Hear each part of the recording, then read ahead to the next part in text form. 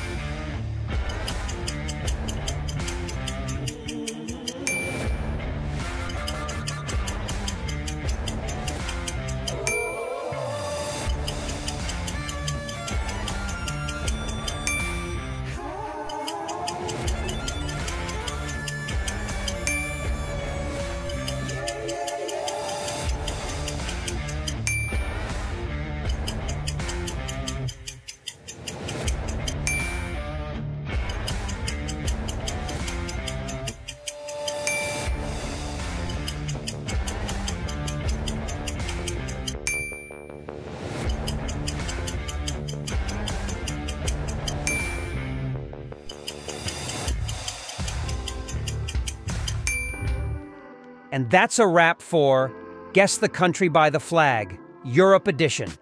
How did you do? Let me know in the comments below. If you enjoyed this challenge, don't forget to give it a thumbs up, subscribe for more geography fun, and hit that notification bell. Until next time, stay curious and keep exploring the world of flags. See you in the next video.